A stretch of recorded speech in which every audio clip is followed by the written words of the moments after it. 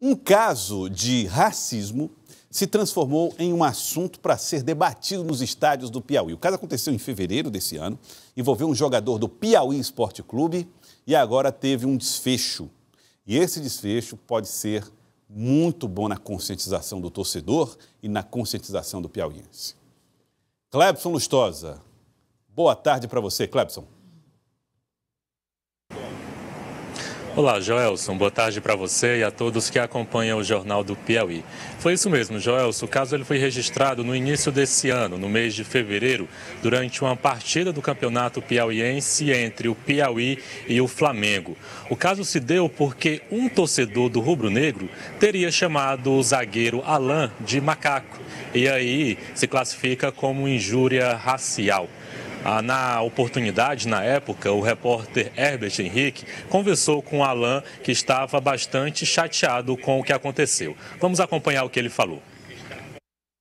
Quando passei ali pela, pela lateral do campo, um, simplesmente um torcedor que eu identifiquei é, me chamou de macaco e eu queria que não deixasse assim. Infelizmente, eu fui ali no policial, ele mandou falar com o quarto árbitro.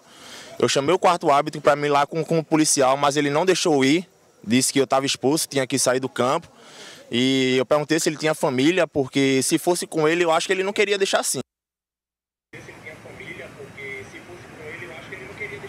E de fato não ficou assim, Joelson. Depois de um mês que isso aconteceu, o caso foi parar no Tribunal de Justiça Desportivo do Piauí. A justiça julgou esse caso e deu como resultado uma pena para o Flamengo, que teria o torcedor que acabou chamando Alain de macaco. O rubro-negro precisou pagar uma multa no valor de um mil reais. E esse torcedor que não teve a identidade divulgada, ele está proibido de frequentar estádios dentro do Piauí por um ano. Só porque o caso não parou por aí.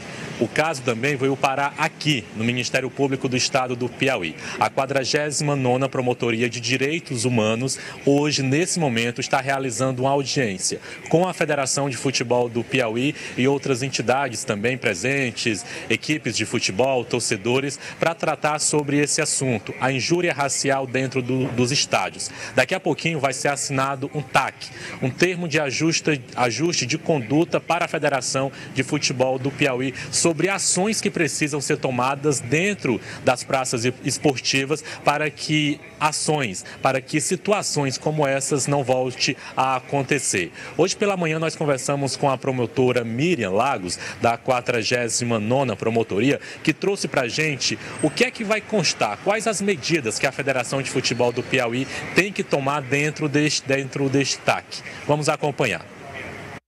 Basicamente, três ações. Uma que seria no sentido de eh, a federação confeccionar e apresentar na abertura de cada partida faixas, né, com frases que eh, retratem a questão do combate ao racismo, a necessidade do combate ao racismo de outro também que fossem feitos spots para serem divulgados nas locuções nos estádios na partida. E aí vale dizer que não é só nos estádios de Teresina, valendo para todos os locais, todas as praças desportivas onde houver a prática de futebol. E um terceiro encaminhamento é a instituição de um observatório de acompanhamento de denúncias dessa natureza, de discriminação racial, de racismo, que é uma prática que constitui crime. É, já foram confeccionadas as faixas e os spots é, já foram foram preparados e vão ser apresentados hoje no ato da assinatura. o observatório, a gente concedeu um prazo de 90 dias e eles vão comprovar posteriormente.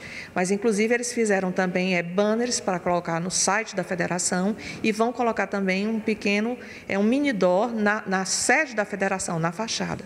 Então, assim, demonstrando que tem esse interesse realmente em fazer essa campanha, porque essa é uma prática deletéria que não é totalmente incompatível com o esporte.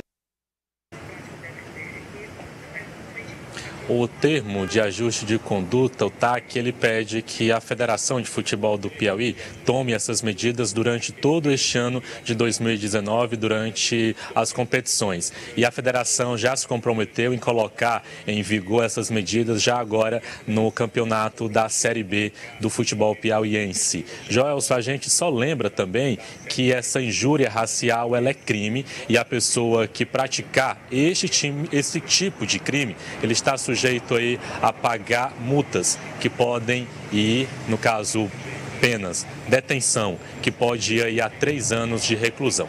Eu volto com você.